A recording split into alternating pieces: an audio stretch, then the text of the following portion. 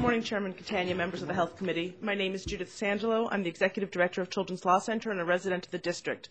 I'm testifying today on behalf of the Children's Law Center, which is the largest nonprofit legal services organization in the district and the only such organization devoted to a full spectrum of children's legal services.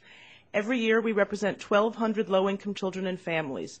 The children we serve have some of the most significant and complex mental health needs in the district, and my colleagues routinely cite the lack of appropriate mental health services as the greatest barrier to success for the children we serve. The district's failure to provide adequate mental health services to our children has a long history, but during the past year we've seen some seeds of positive change.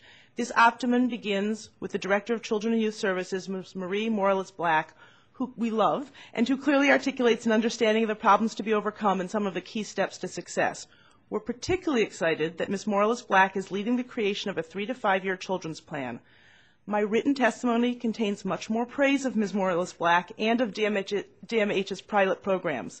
But let me now turn to the major problems that remain because Ms. Morilus, Black needs the backing of more than Mr. Baron and Ms. Bazron, which she has, in order to succeed.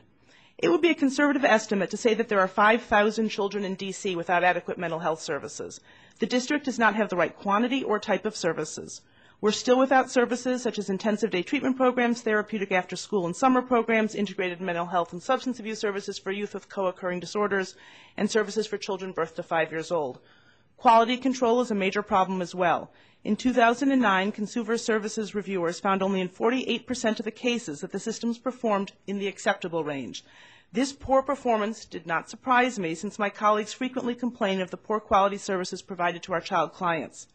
Performance pro problems include untimely and incomplete assessments and major mental health conditions left undiagnosed for months or years. Children leave hospitals without proper discharge plans or supports in place and end up back in the hospital soon thereafter. Clinicians do not talk to each other or to the child's caregivers, teachers, and other key adults, and therefore often review complex situations superficially and fail to identify core issues. Effective teamwork is critically important in developing a robust community-based mental health system.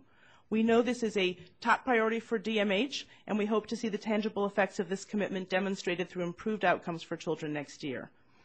None of these problems will be fixed, nor will a children's plan be successful if the system continues to be fragmented and if money continues to be invested in incarceration, foster care, and inpatient hospitalization rather than in front-end services.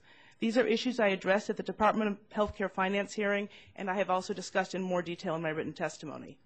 I hope that this year the Department of Mental Health, the Mayor, and the Council will treat the situation facing children needing mental health services as the crisis that it is and make solving the pri problem a priority. We have the right leadership in place, but we need them to work together to address and dismantle the underlying systemic barriers presented by our fragmented, complex mental health system. We look forward to working with all of you to achieve those goals. Thank you.